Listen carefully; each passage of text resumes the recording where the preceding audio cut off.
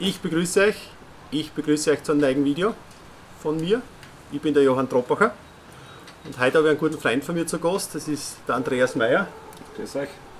Und ja, wie ihr da schon seht, haben wir da jetzt was aufgebaut für euch. Ganz eine coole Sache. Und zwar, diesmal geht es um Outdoor Kitchen, Outdoor Küche. Ich bin ja gelernter Koch, ursprünglich, bevor ich in die Fischereiszene gerutscht bin. Und der Andi hat sich da in den letzten, letzten Monaten spezialisiert für Outdoor Kitchen privat. Und wir möchten euch heute einmal die Firma Petromax vorstellen. Vielleicht kennt es der eine oder der andere. Aber wie gesagt, ich denke einmal, da kann der Andi jetzt da mehr dazu sagen. Firma Petromax. Für Petromax gibt es jetzt seit genau 101 Jahren. Es ist 1910 gegründet worden. Seit 101 Jahren, Ja. über 100 Jahren. Über 100 Jahre. Die haben 100 Jahres Jubiläum gehabt. Ja, angefangen haben die mit Starklichtlampen, mit sogenannten Petroleumdrucklampen, da wo man den Druck unten aufgebaut hat und das in einen Glühstumpf drin verspült worden ist und hat auch bis 2010 eigentlich das immer weiterhalten und gibt es nach wie vor noch immer, noch immer gleich gebaut. Und 2010 hat es noch einen neuen Geschäftsführer gegeben, der was die Rechte wieder übernommen hat von der Firma Petromax und beschäftigt sich seitdem auch mit Outdoor-Küche, Häfen, Faunen, Perkulatoren und alles, was so Thema Gusseisen ist und überhaupt Outdoor allgemein. Gusseisen ist gerade das richtige, richtiges Stichwort. Gusseisen, äh, wie gesagt, Outdoor-Küche auf gusseiserner Basis. Nicht nur jetzt von den Töpfen daher, sondern sie haben ja auch Email Im Weidhäferl, ja, richtig, ja. stimmt. oder auch die ganzen Tassen. Aber was ich halt sehr cool an der ganzen Geschichte finde, ist das, das ist ein Produkt, was wirklich auch in Europa ist und speziell auch in Deutschland produziert wird Ja, und richtig, ja. ist eine Firma, was zu 100% aus Deutschland kommt. Genau. Das Logo wird vielleicht euch auch schon was sagen. Das Logo, was ihr seht, ist der Drache. Und das nächste, was wir jetzt eigentlich mal vorstellen wollen, ist eigentlich der Bestseller von einer. Also das bestverkaufteste Produkt, glaube ich, kann ich sagen, glaube ich, kannst du Ja. auch so sagen, Das ist der FD9. FD9. FD9, genau, richtig, ja. Den FD9 gibt es, wie gesagt, mit Füße und ohne Füße. Also das ist immer, man kann sagen, man kocht zum Beispiel vier Personen, bis zu zehn Personen ist es auch möglich, kommt immer darauf an, was man macht. Wie gesagt, die Töpfe sind alles Gusseisen, sehr stabil gebaut. Das ist wirklich, dass man sagt, den hat man, kauft man sich einmal und den hat man immer. Unkaputtbar eigentlich. Und sind extrem, also du merkst die Qualität schon an denen, wenn du mal den Topf wirklich auch in, in, in der Benutzung hast, das ist unglaublich, wenn du den hochhebst. Ich versuche den jetzt einmal, also der hat schon ein Gewicht, wie es merkt. Und wie gesagt, ist einfach der Topseller, der Bestseller. Der Bestseller ist der F9, ja. Was man dazu noch sagen kann, wie gesagt, da ist keine Chemie um, gar nichts. Es wird ja da in den Töpfen drin nichts anbrennen. Er ist nicht beschichtet, das heißt, ich habe kein, kein, kein Teflon abkratzen, wenn man den Deckel draufsetzt. Die Beschichtung, wie gesagt, es gibt keines reines Gusseisen. Man muss den Topf wieder immer pflegen und es gibt keine Chemiestoffe, was man da irgendwie mitessen kann. Es ist rein Natur, pur das Genau. Produkt. Also die Firma Petromax merkt schon, steht einfach für wirkliche Qualität. Gefällt mir wieder sehr persönlich, sehr gut und haben wir echt schon leckere Sachen am Wasser gemacht. Und das ist jetzt das nächste. Jetzt muss ich aber noch kurz zwischenfragen, weil du vorher gesagt hast, FD9 gibt es mit Füße und ohne Füße. Was ist da eigentlich der Unterschied? Der Bis auf die drei Stifte da drauf. Die drei Stifte, der Unterschied ist das zwischen den zwei Töpfen, wenn man sagt mit oder ohne Füße. Ich gebe dir den Deckel einmal. Weil ich viel Outdoor kochen tue oder vorwiegend überhaupt nur Outdoor kochen tue, dann nehme ich den wahrscheinlich mit die Füße, da kann ich unten die Kohle rein tun und da dann das sicheren Stand. Weil ich sage, ich verwende den drinnen, ich verwende ihn am offenen Feuer auf einem Dreibein oben, dann nehme ich den ohne Füße, weil ich kann ihn nachher überall anders auch hinstellen. Das heißt, ich kann da ins Rohr rein tun, ich kann auf dem Induktionsherd aufstellen, ich kann aufs Ceranfeld aufstellen, ich kann auf den Gaskocher aufstellen. Das ist dann der Vorteil ohne Füße. Wie gesagt, mit Füße wird es dann auf dem Ceranfeld ein bisschen schwer. Und die Leute, die jetzt gefragt haben, ja, äh, Induktion, ja, ist möglich, weil es ein Gusseisentopf ist, der ist überall verwendbar. Offenes Feuer, Gas, Kohle, Holz und Induktion. Ist auch zu empfehlen, ohne Füße für In- und Outdoor, nur Outdoor mit die Füße, beim sicheren Stand. Outdoor Kitchen, man muss die ganze Geschichte jetzt Outdoor verwenden, muss man eben nicht. Und das ist jetzt auch eine ganz coole Erleichterung, weil du kannst ihn jetzt natürlich jetzt direkt am offenen Feuer verwenden, die Sache. Ob jetzt damit mit offenem Feuer, mit Kohle oder unter anderem auch mit einem Gas. Genau. Kocher. Aber du hast auch die Möglichkeit, dass du das Indoor verwendest. Oder wie du am Balkon zum Beispiel. Ohne weiteres. Wenn du sagst, du hast einen Gaskocher, man darf, hat die Möglichkeit, dass man irgendwo offenes Feuer machen kann, dann kann man ganz normal draußen auch im Gasgrill betreiben, weil da kriegt man gewisse Temperatur zusammen, indirekt oder direkt und man kann auch ganz normal auf den Gaskocher aufstellen. Wie gesagt, da würde ich halt noch empfehlen, den ohne Füße zu nehmen. Es hat einen anderen Vorteil, Anna, was ich euch jetzt da zeige. Wenn du mehrere Tapes hast, dann kannst du den Topf auf den anderen einfach draufstellen, das siehst Genau, da stößt du da oben drauf, du hast unten die Kohle rein, du hast in der Mitte noch die Kohle rein, hast du dann da eine Oberhitze noch mit dabei, du hast die Unterhitze automatisch oben, legst den Deckel da oben nochmal drauf, dann kannst du da oben noch auch nochmal Kohle drauf machen, sagst okay passt, machst du, oder du tust einen kleineren kaufen, einen FD6, hast unten die Hauptspeise drin, oben machst die Beilagen oder kannst du zum Beispiel einen Kuchen machen als Nachspeise drin, beziehungsweise auch mit, dem, mit der Kugelhubform. Was dann noch der Vorteil dann ist, ich kann hergehen, nehme den Deckel runter, Immer jeder wird sich fragen, warum das der Griff so klein ist, das hat aber einen Sinn. Das wollte ich nämlich auch schon fragen. Ja.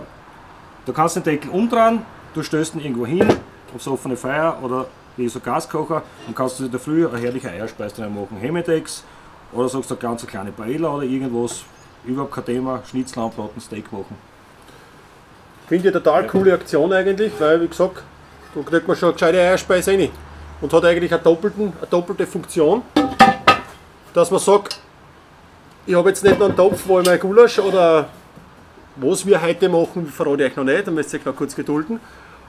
Aber man hat nachher wirklich mehrere Möglichkeiten, dass man jetzt sagt, man kocht sogar Eierspeise und man kann, man kann es als Pfann verwenden, den Deckel, und der Topf selber ist ja nachher, wie gesagt, für Eintöpfe und für mehrere Sachen auch verwendbar. Genau. Es ist aber, hat ja noch einen zweiten Grund, warum das der so klein ist, oder? Zweiten Grund, warum er so klein ist, wie gesagt, aber wenn es umdrehst, dass er nicht unten ansteht.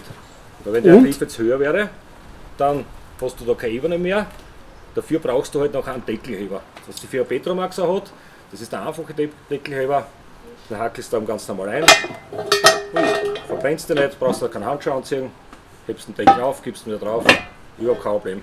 Du kannst den Deckelheber auch verwenden, sagst, du hast keinen Handschuh da, machst den Griff auf, hackelst da oben ein, nimmst ihn vom Feuer über. Überhaupt kein Thema.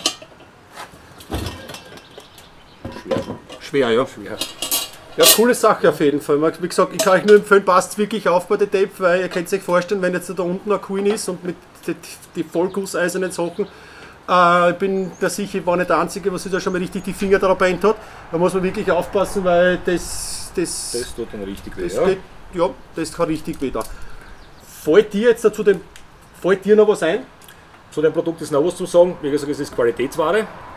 Es ist kein Billigprodukt. Also das ist wirklich durchgedacht. Wenn du jetzt hergehst und du hebst den Griff da oben auf, ist der komplett ausgewogen, der Topf. Ja, er kippt nicht nach links, er kippt nicht nach rechts. Deswegen ist es da leicht versetzt dran. Okay. Billigtöpfe, wie gesagt, kannst du die Hand nehmen, die werden da wahrscheinlich irgendwann einmal kippen. Okay, okay. Und mir ist jetzt noch was aufgefallen, und zwar, ich muss den jetzt nochmal aufmachen, und zwar, ich weiß nicht, ihr seht das da, oder? da ist eine Kerbe, und auch, wenn ich den da umdrehe, seht ihr es auch da beim Topf, da ist eine Kerbe und da ist eine Kerbe. Weißt du, für was das, das sind? Die Kerbe hat den Vorteil, wenn du zum Beispiel einen Temperaturfühler oder irgendwas hast, einen externen, dann kannst du dann ein Kabel da durchlegen, das passt dann genau rein. Somit okay. du das Kabel nicht ein, kannst es dann in dein Stück Fleisch rein tun, was du halt machst, dass du immer sicher bist, dass die Kerntemperatur passt. Mhm. Passt genau zusammen. Da oben ist dann ein kleiner Pfeil, was man dann sieht, dass man den Deckel ja so drauflegt, dass das Kabel eben nicht zwickt wird. Okay. Das ist der Vorteil von dem Schlitz, was jeder fragt, was das ist. Okay, ja, das ist ja interessant. Wie gesagt, ja. das zwickt das Kabel nicht ab, kann man Temperatur fühlen. Ich glaube, speziell nachher für Fleischgericht ist es auch immer interessant, Kerntemperatur ja. Und die ganzen Sachen. Ja, super fein. Äh, ich glaube, dann haben wir mal den FD9 mal, glaube ich, so erklärt, dass ihr einmal die Infos habt, was das Produkt kann. Und was machen wir heute? Ich würde sagen, wir machen heute einmal ein ganz einfaches Schweinebratel mit einer richtigen Krusten oben. Schweinsbraten, Richtig. Schweinebraten, wie die Deutschen vielleicht kennen. Wie schwer ist das Stück Fleisch? 3 Kilo. 3 Kilo im Ganzen. Werden wir jetzt den Griller starten und werden euch sagen, wie wir mit den FD9 da heute heraus ein richtig gut Schweinsbraten machen. Cool. Alles klar. So, wie seht haben wir schon was vorbereitet da jetzt da. Wie gesagt, Radl machen ist nicht schwer. Der, was, der, was es nicht kann, für den auf jeden Fall sehr. Andi hat schon ein bisschen vorgearbeitet. Wir haben, wie seht, da vorne unsere 3 Kilo Schweinsbradel. Wir haben das schon vorher eingeschnitten. Da kann ich euch als Koch einen Tipp geben. Wir haben das immer in der Großküche so gemacht, wir haben extra Stanley-Messer gehabt, einen Teppichschneider und somit kannst du das richtig schön einschneiden.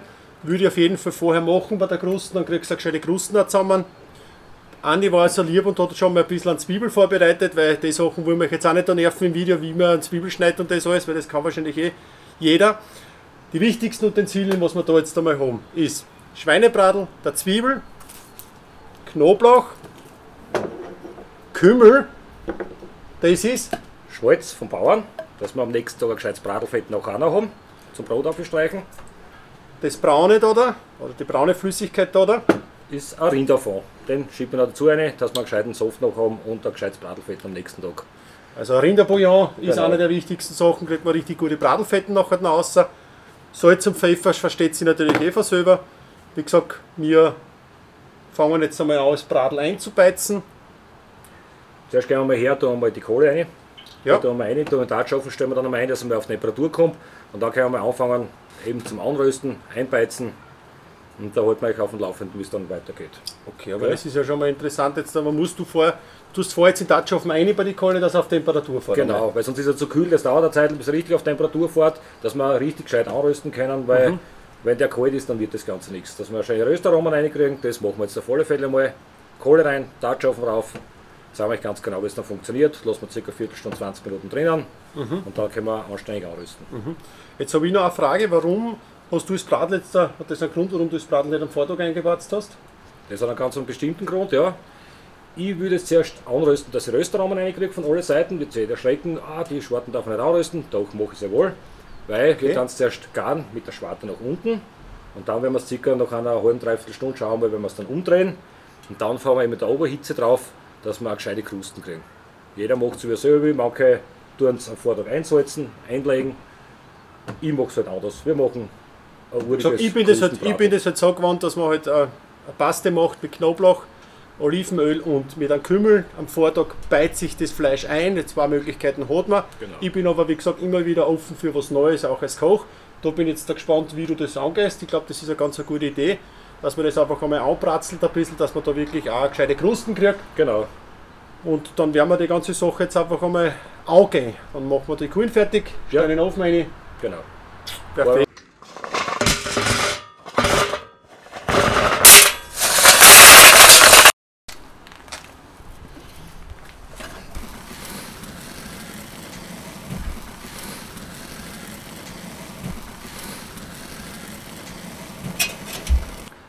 So, inzwischen haben wir unseren Anzündkamin einmal angeheizt. Wir haben da jetzt 30 Stück Kohle drin, weil wir brauchen eine Temperatur so bei die 200 bis 225 Grad.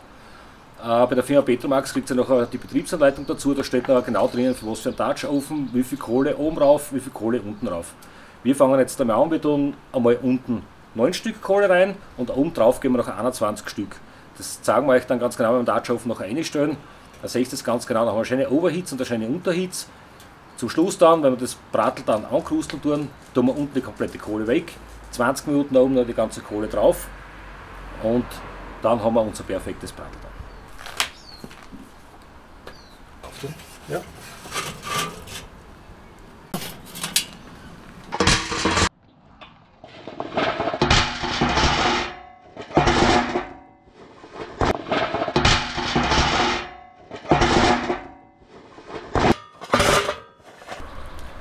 Wie ihr seht, ich habe jetzt zwei Kohlekörbe genommen. Da wird jetzt die ganze Kohle mal konzentriert werden. Das ist jetzt, fangen wir nur auf Unterhitze, weil wie gesagt, wir wollen ein paar Röstaromen zusammenbringen. Wir stellen jetzt den Topf da mal drauf, machen den Deckel von den Griller zu, machen die Lüftungsschieber auf und lassen das einmal vorwärmen, dass der mal auf Temperatur kommt. Inzwischen bereiten wir die anderen Sachen vor. Ja, Knoblauchscheiben, wie gesagt, da Freirahmen, dass ihr was seht, aber bei Knoblauchscheiben Ja. kann man nicht viel sagen. Ich kann euch eigentlich nur einen Tipp geben. Wenn es viel Knoblauch zum Schön habt, ist die Möglichkeit auch gegeben, dass ihr das im Wasser einlegt, in lauwarmen, dann geht er einfach einfacher zum Schön, der Knoblauch. Oder so wie das der Andi auch macht, Draufdrucken. er druckt da einfach drauf mit dem Messer, er knackt ihn auf und dann ist das Ding auch, halt auch gleich mal viel leichter zum Schön. Vielleicht ist es auch vom Vorteil, wenn man nicht so einen Feidel hat, sondern vielleicht ein bisschen ein kleineres nimmt und dann einfach, wie gesagt, hat er da so ein kleines Tool, das will ich jetzt zwar nicht sagen, weil das Plastik ist, aber wie gesagt, ich als gelernter Koch habe meinen Knoblauch immer schön fein zusammengeschnitten und zusammengehackt gehackt. Und wenn ihr es nachher mit Olivenöl macht, füllt den Knoblauch, als weiterer Tipp, füllt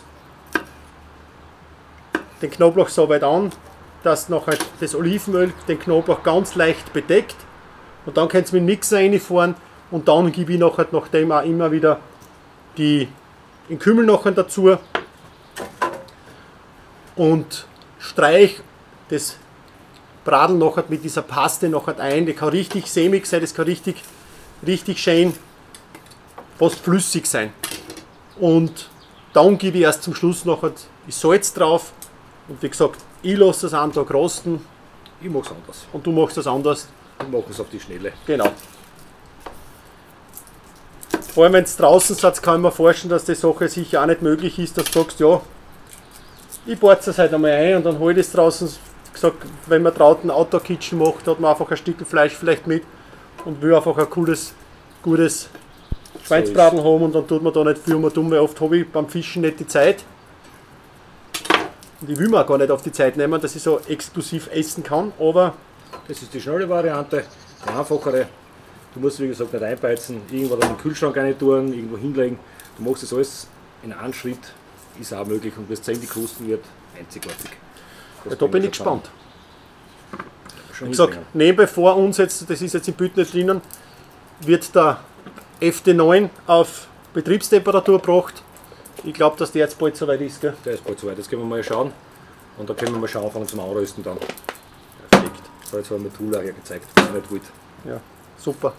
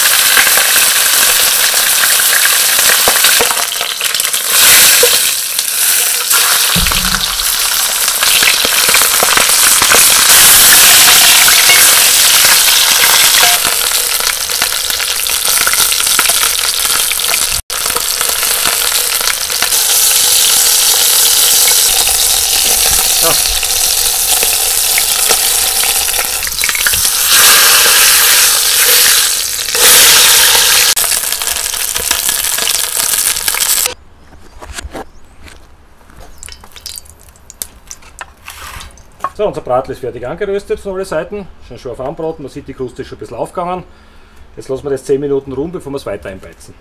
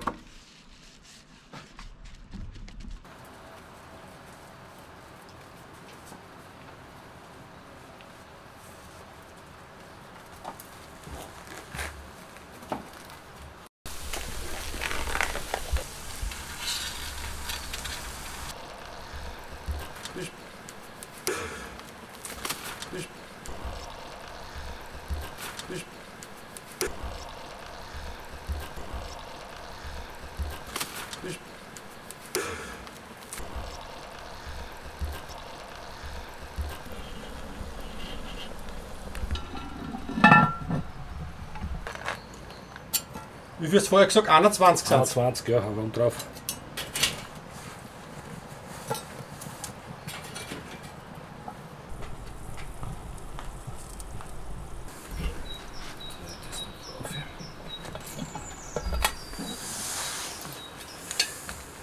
Bist du deppert. Mal winken bitte. Das ist ganz einfach. Zur Größe.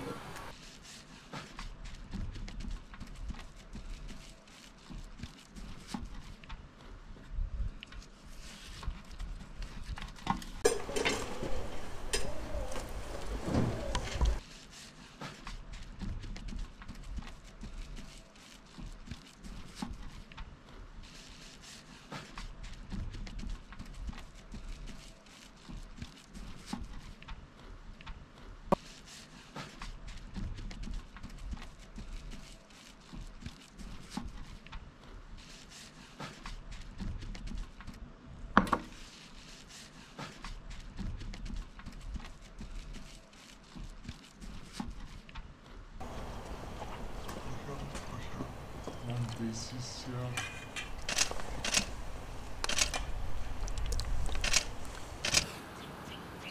Ich hoffe, wir haben euch da das eine oder andere jetzt, da, wie gesagt, über Petromax einmal erzählen können. Vielleicht macht es euch auch mal ein Outdoor-Schweinsbradl. Ich möchte mich bedanken fürs Zuschauen. Lasst vielleicht ein Like da, vielleicht lasst auch einen Kommentar da, weil wenn ihr das kommentiert, dann schreibt uns da vielleicht in die Kommentare rein, was ihr als nächstes gerne sehen würdet von uns, weil wir wollen auf jeden Fall weitere Videos für Petromax machen, vor allem Outdoor Kitchen. Und über ein Abo würde ich mich natürlich auch freuen. Wenn es die Glocken druckt, seid immer up to date. Ich sage Andi, danke. Gerne, hat mich gefreut. Hat Spaß gemacht. Und wie gesagt, bis, Zum nächsten Video. bis zum nächsten Video. Euer Hans.